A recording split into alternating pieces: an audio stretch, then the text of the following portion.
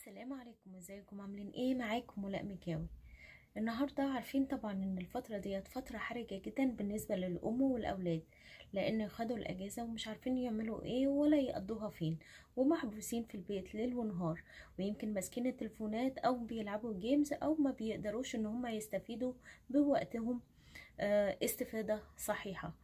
النهارده جاي أكلمكم إزاي نستفيد من الفترة ديت ونخليها فترة إيجابية بالنسبة للأم وبالنسبة للأطفال في وقت واحد. إزاي؟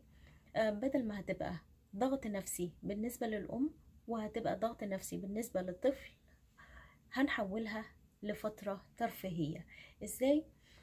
هنعمل لهم هننظم لهم جدول. أول حاجة آه، الفترة ديت حاسه إنها فترة كويسة جدا إننا نقرب من أولادنا أكتر وإننا نتكلم معاهم أكتر ونسمع لهم أكتر ونسمع لمشاكلهم أكتر. دي أهم حاجة طبعا.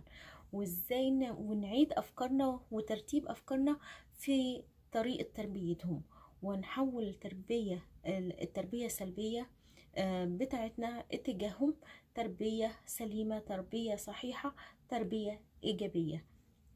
ده بالنسبة للآباء.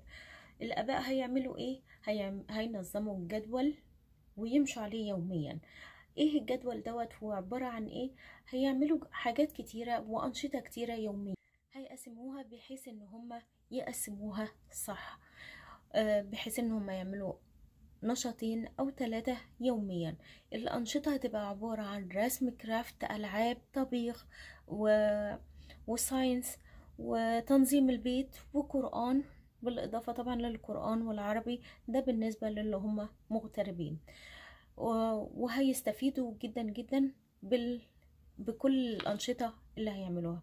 زائد إن إحنا هنعمل exercise وهنخليهم يعملوا exercise وهنشغل لهم exercise عن طريق اليوتيوب وإحنا كمان هنعم آه هنشترك معاهم في ال exercise وهنعمل معاهم وهنعمل engaging أكتر معاهم.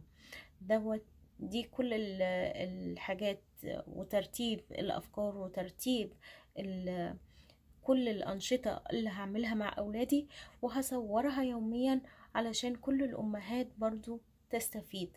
فانتظروني إن شاء الله الفترة دي اللي جاية ديت مهمة جدا ومهم جدا إن أنتوا تت- تتابعوني وتتابعوا الأنشطة اللي هعملها مع أولادي لأني متأكدة إن هي هتعجبكم.